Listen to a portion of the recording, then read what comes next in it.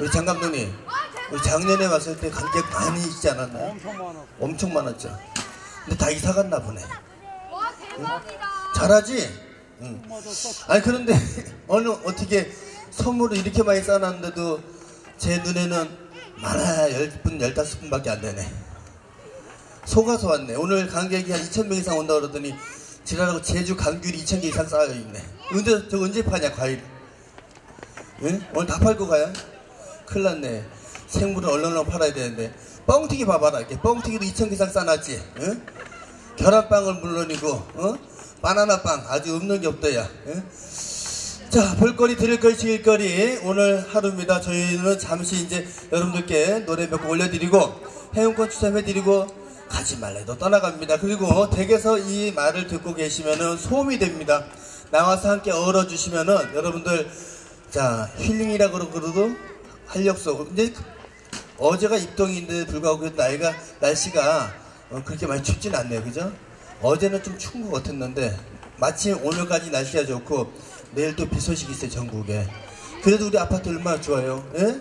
이 아파트는 비도 안 오지. 오늘 날씨도 이 정도면 괜찮지. 그지가 반바지 입고 나왔으면 이 정도면 안 춥다는 얘기네. 그렇죠? 같이 어울러지는 그런 하루가 됐으면 좋겠습니다. 자, 노래 하나만 더 올려드리고 우리 가수님 먼저 무대 모실 시간 가져봅니다. 아이씨구 가자.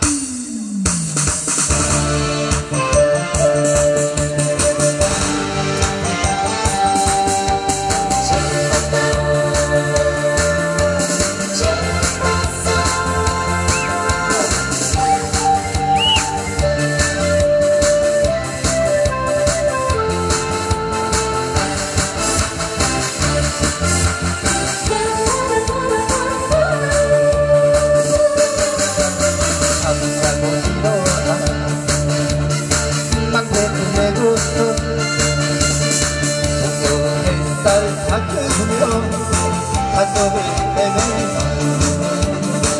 여기에 있을까? 저기에 있을까? 한부리만 된다면 모든 게 효도하고 두부리만 된다면 나장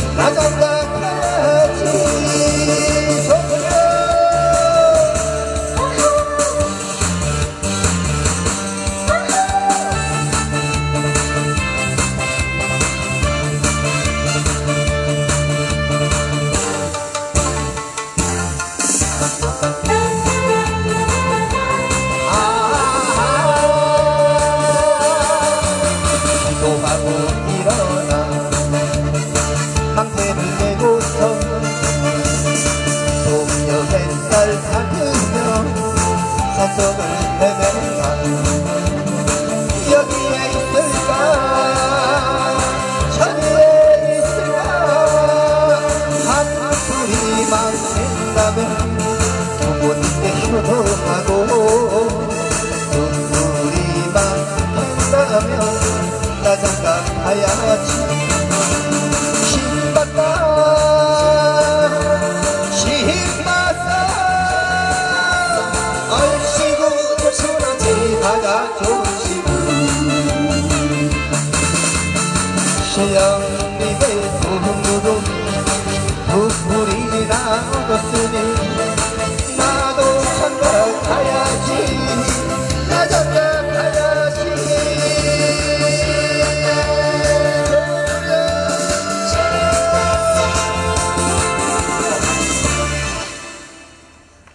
두 각설이가 에코도 안 빼주고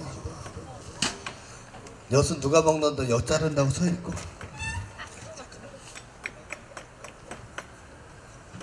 자 음.